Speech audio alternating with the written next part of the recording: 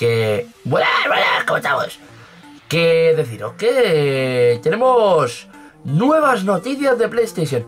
¿Qué me estás contando? ¿Qué me estás contando? Sí, sí, sí. Nuevas noticias de PlayStation. ¡A tope!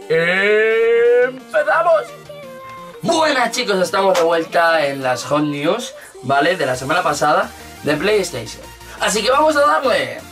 Sony nos ha confirmado que va a haber posibilidad de cambio de ID. ¿Vale? Va a estar la beta abierta y se supone que en torno a enero, diciembre va a salir para todos.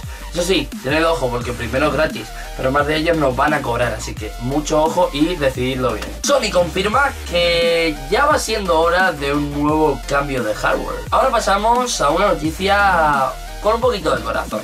Rockstar ha permitido a un enfermo terminal poder jugar a Red Dead Redemption 2 antes de su salida. Así que, joder, ole Rockstar, me ha gustado, me ha gustado eso. Y sin salir de Red Dead Redemption 2, nos ha llegado la confirmación de que los NPCs, cuando tenemos el minimapa cerrado, nos van a dar indicaciones mucho más precisas y eso se agradece.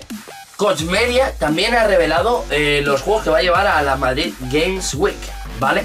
Así que si los queréis ver, entrad en nuestra página web tuplaystation.es y miradlo. La cuenta de Tomb Raider ha felicitado a Assassin's Creed Odyssey por su estreno, su debut en PlayStation.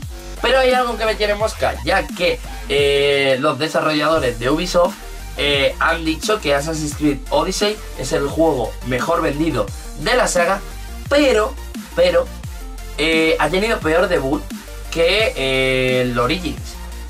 por lo menos en físico. Así que en digital ha subido mucho las ventas. Pero me tiene un poco desconcertado, así que nada, estaremos atentos. Se rumorea que Borderlands 3 llegará en 2019. Fallout 76 tendrá crossplay, o sea, juego entre consolas, eh, pasados unos meses de, su estreno, ¿sabes? Así que eso mola.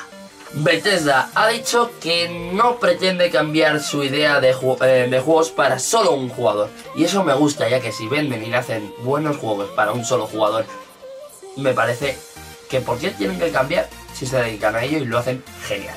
Naughty Dog está buscando actor para un nuevo proyecto, así que... eso sí que hay que estar muy muy atentos, chicos.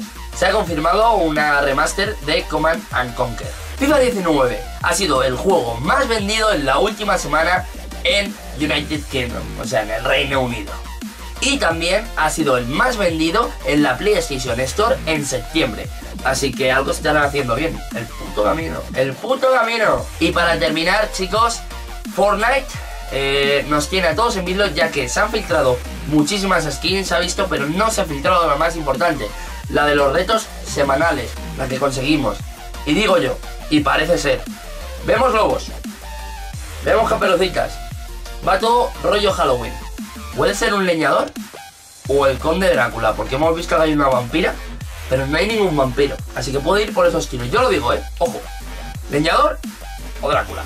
Así que ahí lo tenemos. Y nada chicos, hasta aquí las hot news de esta semana. Voy a intentar eh, traer otra vez eh, esta sección al canal y a mi canal, Bubiño 11, recordarlo, ¿vale?